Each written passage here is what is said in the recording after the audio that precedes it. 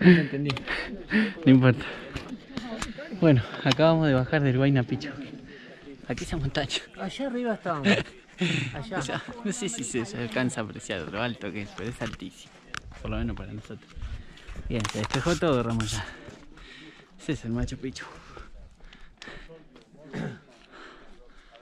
Precioso. Ahora vamos a, a caminar por la por los cuartitos, Por las ruinas, sí. donde- claro, ruinas. Tenemos un rato más y ya después tenemos que volver. Por la vía del tren.